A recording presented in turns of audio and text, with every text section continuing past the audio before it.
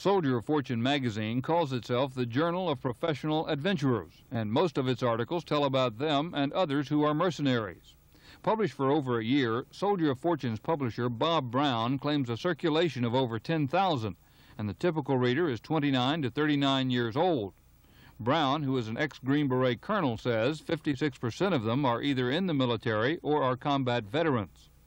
Some of the magazine's articles are very graphic, like this one, which does not leave out a thing while giving instructions on how to kill a sentry. I would suggest for certainly a large number of our readers who will not be involved in sentry removal, so to speak, at any point in time in their life, it's, a, uh, it's a simply a matter of uh, escapist reading, if you will. Now, on the other hand, there may be, well, some of our readers, although a much smaller proportion, that might be. Presumably, the magazine's ads also try to reach the pro. There are dozens and dozens of how to do it books offered for sale from CIA and Army handbooks to modern knife fighting techniques and how to make a silencer.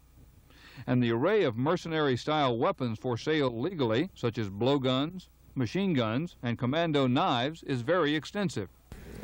The ads, really, the items that appear there are advertised elsewhere. I think it causes such interest in people that pick up the magazine for the first time because they see all these ads in one place, so to speak. That in conjunction with the general nature of the magazine. Soldier of Fortune is also getting a lot of mileage from the fighting in Africa and even offers interviews with military officials there who tell how to join their armies. And the classified section has such interesting items as this one. Group of mercenaries for sale to foreign government will accept suicide missions. Ike Seamans, Channel 4 News.